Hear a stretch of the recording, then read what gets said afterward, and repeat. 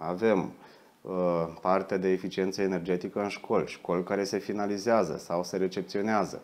Astăzi, de exemplu, se recepționează și școala 8. Înseamnă că după realizarea recepției finale vom avea o situație de plată finală care presupune încheierea uh, uh, cheltuielilor pe acest proiect.